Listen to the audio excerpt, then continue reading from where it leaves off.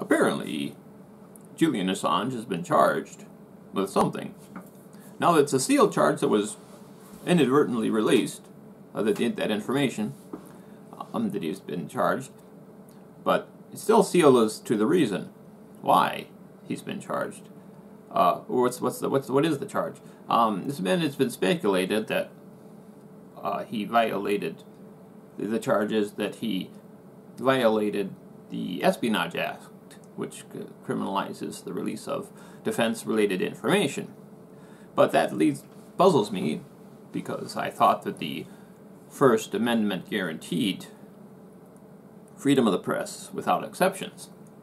So as a result, I'm, I'm trying I'm, I'm trying to figure out how how such a, a, a charge can be can be prosecuted given the guarantees that the Constitution is supposed to have regarding press freedom. So I've decided to look it up on the. Uh, I got a book here.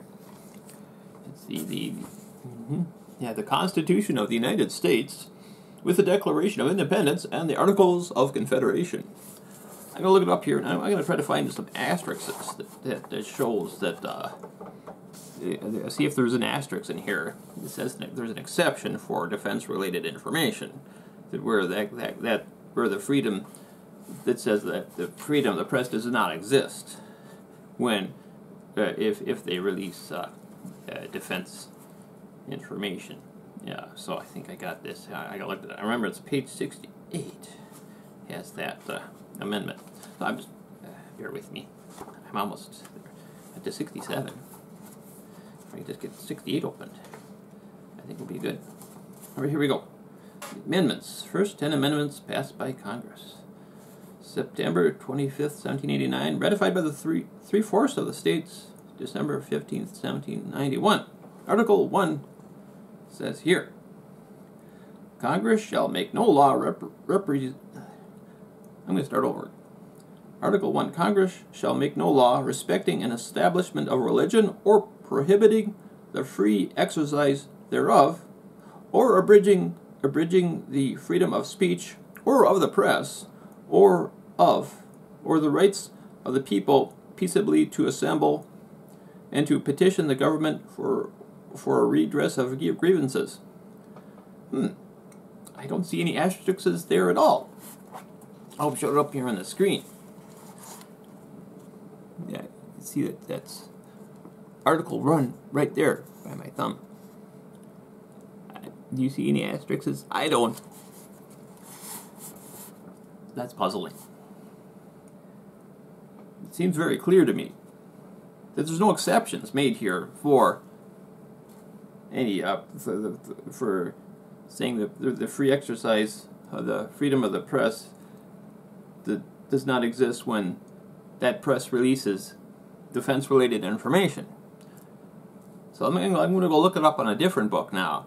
See, maybe, maybe it's on there. I got to go look at that book now. Find, find it on my bookshelf.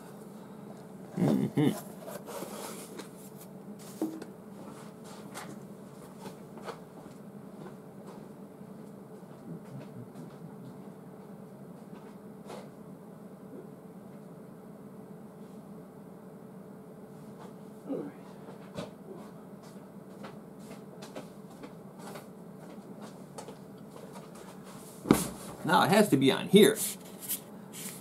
United States Formation of the Union documents. Look at the size of that book. I mean, whoo, that's big. It has to be in here, that exception. That, that the government thinks it justifies their prosecution of Assange. This is this is a lot of pages. Um, I can't seem to find it in here either. I can't find it anywhere. You know what? I don't think there are any exceptions. There are no asterisks that says the, the freedom of the press does not exist when there's release of defense related information. So, why is this happening? Why are any charges being rendered against Assange? Um, what are the, what are the differences between his his release of defense information, and say the New York Times or the Washington Post or any other mainstream media outlet. It's, it's because he he they're they've been releasing the same same same information that much some of the same information that he he has released because they've published some of the WikiLeaks information. And there's no way to tell for sure what constitutes defense information in the first place. There's no necess- there's not necessarily any blazing uh, top secret stamp on every document that could contain defense related information. So it's so it's impossible to tell what would might violate the Espionage Act and what might not. Especially if you look like say if you're really if it's emails, those uh, the te- the text from the email, even if it says somewhere on the if if like the complete uh, the complete email uh, text, you might see at the bottom or the top. It might say something like top top secret, but that could be cut off. Whatever information that the the, the press or, or whatever journalist is receiving that information, they might just see a, get a snippet of the email that has any uh, kind of warning about it being top secret information might have been cut off. So, let's say that journalist might have gotten that information.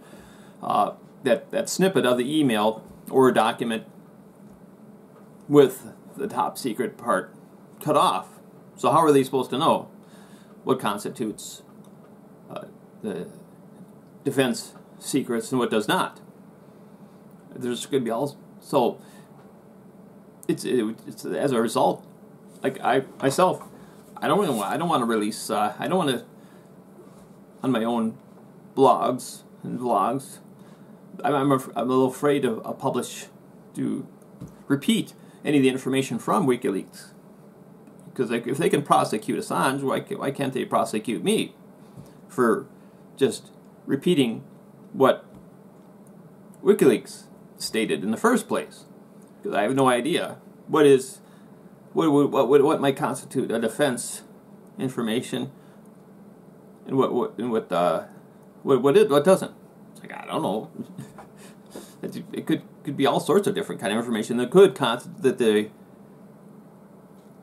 powers that be, the deep state, in the in, in the government might say, "Oh, that's that was defense information you just released." So now, now the maybe they're going to go after me. I don't know.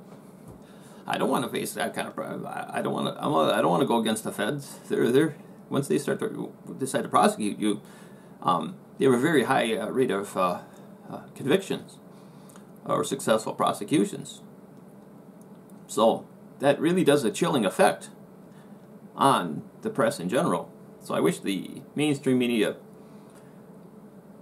press would would uh, speak up about about that problem of being for it's just impossible to tell what is a uh, d- defense secret and how what is not, and how that would be such a, dif- a chilling effect on the freedom of the press if uh, Assange were to be prosecuted.